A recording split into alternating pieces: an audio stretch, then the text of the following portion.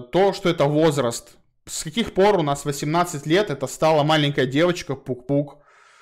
Почему 18-летний порог для Тати, которая хуярила баллоны, это, блядь, ну нет, типа, как бы, это не маленькая глупенькая девочка, которая, знаете, оступилась, а гаечка, потому что миленькая девочка, пук-пук маленькая такая метр там 24, типа, все, тогда, да, давайте ей всю хуйню прощать.